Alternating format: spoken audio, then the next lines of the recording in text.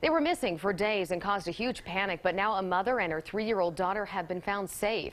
KRDO News Channel 13's Bonnie Silkman found out what happened, and she joins us now live in our newsplex. And Bonnie, we understand you just spoke with the family. Well, it turns out the mother, Taylor Goodbow, was feeling overwhelmed after a death in her family. The family says Goodbow went on a drive with her daughter Emma Friday afternoon and never came back. Now, the family had no idea if they were okay or if they were even alive until about an hour ago.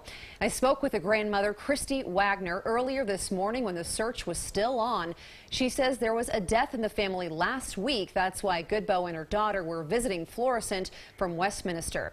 Now, on Friday afternoon, Goodboe told her family she was stepping out to run a few errands in Colorado Springs. She said she'd be back in about an hour. Her mother, Christy, could barely focus during our interview earlier this morning because she was so worried about where her daughter and granddaughter could have gone. My worst nightmare is that she's found not alive. And that would kill me. That would absolutely kill me. It is the hardest thing to go through, but not knowing is very hard.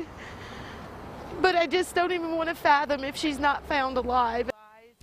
Now, although the grandmother, Christy, is incredibly relieved, she's also a little angry that her daughter left, missed the family's funeral, and didn't check in. Again, her daughter called the family about an hour ago. She said she was okay. She did not say exactly where she is right now. Now, police say the grandmother, Christy, she did the right thing by filing a missing persons report.